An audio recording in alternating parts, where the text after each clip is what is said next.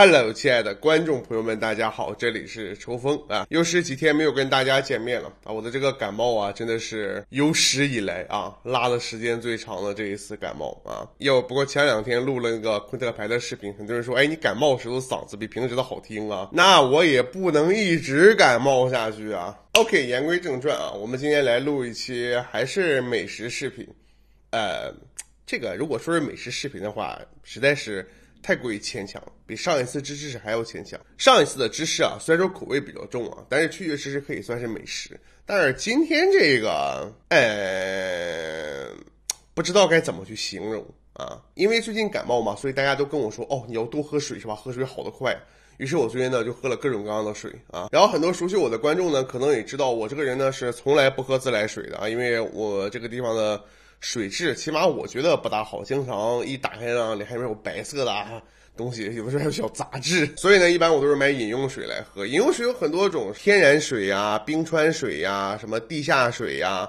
啊什么这个纯净水啊，从便宜的到贵的都有。无论是五毛钱一瓶的惠仪，一块五的农夫，九块钱的依云，甚至更贵的这个斐济、肤斯，这些水呢，我都有买过啊。因为总觉得好像花钱买这种水没有什么问题。但是如果说有一天跟你说让你花钱去买白开水，会不会觉得非常的奇怪？我前两天在上网的时候啊，发现真的有厂家在生产白开水。但是因为在网上买嘛，它都是成箱成箱的买啊，所以说我想在我家附近的小店儿和超市看看能不能找到这款水。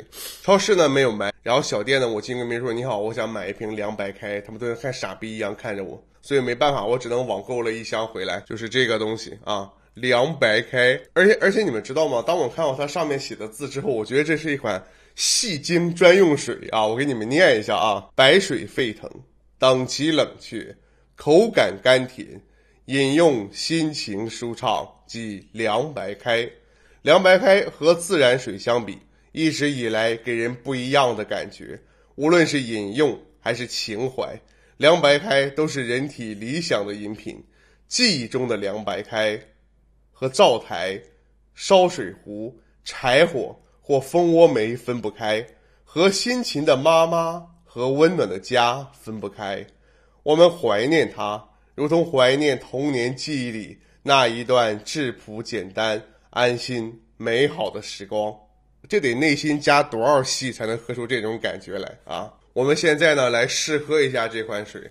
我相信你们看过很多美食视频，但是我真的不相信你们以前看过有人来试喝白开水啊！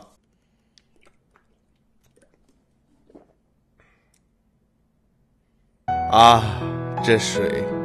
香气扑鼻，鲜香可口，清甜甘冽，余韵无穷。喝下它，让我想起了我小……不要给自己加戏了好吗？这就是很普通的水啊，感觉完全没有什么特别的地方。我现在开始有点怀疑，我是不是要给我的智商浇一点水？为什么我会花钱买白开水？不可能，我不能承认自己是一个傻子吧？对不对？再来一瓶，我觉得可能是水喝的少了。还没有体验到它这个里面那一种爱的味道，你知道吧？要多喝一点啊，爱的味道。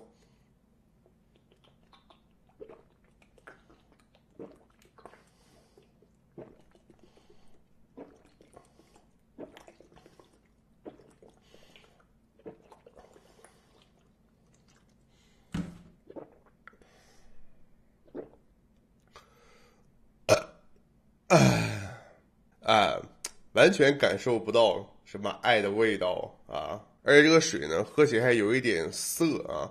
据说这个水啊，是一百二十度烧开，然后八十度灌装，八十度灌装到瓶子里面，真的不会分解瓶子里的一些这个物质，然后扔到水里面去吗？有人说，美好的事物只停留在记忆。现在，让我们穿越时间的隧道，轻轻喝一口凉白开，一起回味那段美好的岁月。我是没有回忆起什么美好的岁月，但是若干年后，如果我回想起来，今天我居然花了三十块钱买了一箱凉白开水回来，一定会觉得自己是一个傻逼。